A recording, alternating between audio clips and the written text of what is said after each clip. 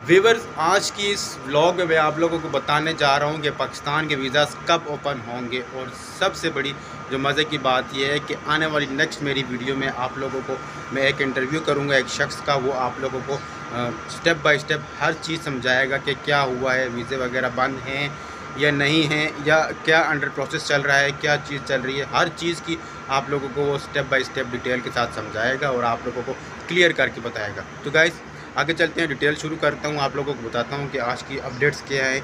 Update शुरू करने से पहले गाइज़ आप लोगों से हमेशा की तरह छोटी सी रिक्वेस्ट है कि अगर आप लोग मेरे चैनल पर नए हैं तो इसे लाजम सब्सक्राइब कर दें ताकि नेक्स्ट कोई भी अपडेट आप लोगों से मिस ना हो।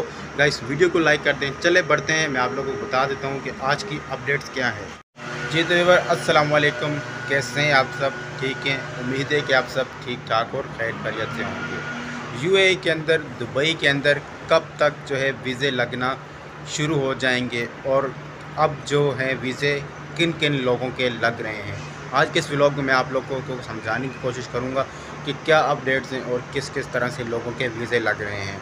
और ये वीज़े कब यानी कि नॉर्मल रूटीन पे आ जाएँगे, जैसे कि पहले की तरह नॉर्मल रूटीन पे थे। तो गाइज़ एक चीज़ को समझने की कोशिश करें, जैसे ही ये महीना स्टार्ट हुआ है नवंबर का तो इसमें काफ़ी ज़्यादा प्रॉब्लम्स आई हैं। काफ़ी ज़्यादा प्रॉब्लम्स ये आई हैं कि वीज़े जो पी होते हैं कंपनीज़ के, जब वो गए हैं, अब देखें जो पी होते हैं, वो जस्ट पाकिस्तान के वीज़े नहीं लगाते। वो पीआरओ कंपनी के जो होते हैं, वो इंडिया, बांग्लादेश, नेपाल, चाइना, किसी भी कंपनी में जो पीआरओ होता है, उसकी जब कंपनी में जो लोग काम करते हैं, वो जस्ट पाकिस्तान से नहीं होते हैं। वो तमाम तर कंट्री से जब वो लोग हायर करते हैं तो सबके वीज़े एक साथ लेके जाते हैं। तो आई थिंक ओके उनका कहना है कि अभी इस टाइम हर जो है नेशनलिटी पे ये प्रॉब्लम आ रही है। थोड़ी बहुत जो है वो चल रहा है, थोड़ी मिस्टेक्स हो रही हैं, थोड़ा बहुत सिस्टम डाउन होने की वजह से जो वीज़े वगैरह हैं स्लो लग रहे हैं, लेकिन लग रहे हैं। स्टेप बाय स्टेप हर नेशनलिटी को वीज़े मिल रहे हैं। इस टाइम कोई भी बंद नहीं है। यानी कि आप लोग ये कह सकते हैं कि ये अभी डिपेंड करता है आपके लक के ऊपर कि आप लोगों का वीज़ा कब तक लग के आ सकता है। गाइज़ लोग ये भी कह रहे हैं कि अभी इस टाइम मेरा वीज़ा नहीं लग रहा तो ये सब इस तरह से क्या है, ज़रा आप समझा दें। देखें वीज़ा आपको ज़रूर मिलेगा। क्यों क्यों मिलेगा?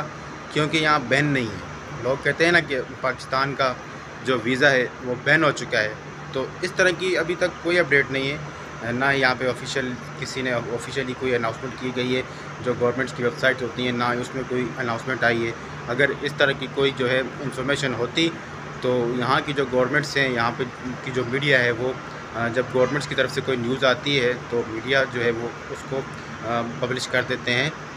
तो इस तरह की कोई भी देखने को नहीं मिली अब तक, जो दुबई की न्यूज़ है या कुछ भी जो खलीज टाइम वगैरह हैं, किसी में भी इस तरह की अपडेट देखने को नहीं मिली कि पाकिस्तानियों के वीज़े बंद हैं। हाँ थोड़ा टाइम ज़रूर वेस्ट हो रहा है, थोड़ा टाइम ज़्यादा लग रहा है पहले अगर आपको एक हफ़्ते या दस दिन में वीज़ा मिलता था अब वही वीज़ा जो है एक महीना का टाइम ले रहा है दो महीने का भी टाइम ले रहा है। और कुछ लोग कमेंट्स करके कह रहे हैं कि हमने तीन महीने से चार महीने से अप्लाई किया हुआ है तो अभी तक हमें वीज़ा नहीं मिला तो क्या अपडेट्स हैं? तो देखें गाइज़ सबसे पहले जो है आप लोगों ने करना क्या है? आप लोग अपना वीज़ा स्टेटस चेक करें। कभी कभी रिजेक्शन भी आ जाती हैं उसकी आ, सबसे बड़ी वजह ये होती है कि आप लोगों के डॉक्यूमेंट्स जो होते हैं वो क्लियरली नहीं होते हैं। ठीक है डॉक्यूमेंट्स की वजह से भी रिजेक्शंस आ जाती हैं। अब, नेले पे धेला ये हो गया है कि अब लोग कह रहे हैं कि वीज़ा बंद हैं। तो जिनकी रिजेक्शंस पहले भी आती थी, ये नहीं कि अभी शुरू हुई हैं, पहले भी आती थी। तो पहले तो बैन नहीं थे ना वीज़े अब अगर कुछ इस तरह की मिस्टेक हुई हैं, कुछ डिले हो रहे हैं वीज़े तो कुछ रिजेक्शंस की वजह से हो रहे हैं और कुछ जो है टाइम पीरियड ज़्यादा ले रहे हैं, इस वजह से हो रहे हैं। और सबसे पहले एक बात आप लोगों को बता दूँ कि जब भी यहाँ पे जो है वीज़े ओपन होते हैं या वीज़े क्लोज़ होते हैं तो सबसे पहले यहाँ की जो गवर्नमेंट है वो मीडिया को बताती है और वीडियो पब्लिश करती है।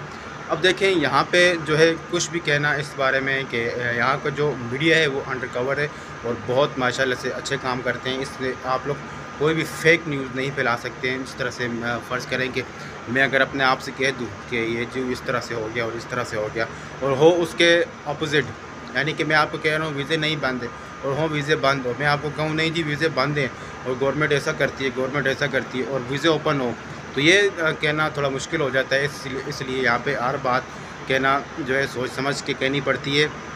तो वीज़े किसी कंट्री के भी बंद नहीं है मिल रहे हैं, हर बंदे को मिल रहे हैं। मैंने जिस बंदे से भी बात की है, उसने यही कहा है कि हमें वीज़े मिल रहे हैं। रिसेंटली मैंने अपनी जो एजेंसीज़ हैं, जिनके जो जो मेरे फ्रेंड्स जो एजेंसीज़ वगैरह में काम कर रहे हैं, मेरी एजेंसीज़ नहीं है गाइस जो मेरे फ्रेंड हैं, जो एजेंसीज़ में काम कर रहे हैं, मैंने उनसे पूछा, क्योंकि उनका डेली बेसिस पे कंसल्टेंसी का ये काम है, उनको इंफॉर्मेशन उनको नॉलेज ज़्यादा होती है तो उनसे मैंने कहा है कि क्या जो है वीज़ाज़ वगैरह के हवाले से अपडेट है, थोड़ी गाइड कर दे। ताकि मैं अपनी ऑडियंस को बता सकूँ। तो उन्होंने कहा है कि, देखिए वीज़ा वगैरह, अगर आप लोग कहते हैं कि दुबई ने पाकिस्तानियों के वीज़े बंद कर दिए हैं तो ये एक दरअसल झूठ बात है। इसमें कोई सदाकत नहीं है। बिल्कुल ये एक झूठ बात है। इसमें जो है लोगों का जो है, मज़ाक उड़ाया जा रहा है, पाकिस्तानियों का मज़ाक उड़ाया जा रहा है। दूसरी कंट्रीज़ भी हंस रही हैं कि आप वाकई पाकिस्तानियों के वीज़े बंद हो चुके हैं। दरअसल इस तरह कुछ भी नहीं। उनका कहना था कि हाँ थोड़ा टाइम ज़्यादा लग रहा है, हमें वीज़ास मिल रहे हैं। वो एजेंसीज़ में काम करते हैं, उनकी एजेंसीज़ हैं। वो लोगों को दुबई, सऊदिया, बहरीन, कतर उमान वगैरह भेजते हैं, रोज़गार के मौके फराम करते हैं। तो उनके पास सबसे ज़्यादा नॉलेज होता है। इससे अच्छा नॉलेज और इससे ज़्यादा नॉलेज किसी के पास भी नहीं होता।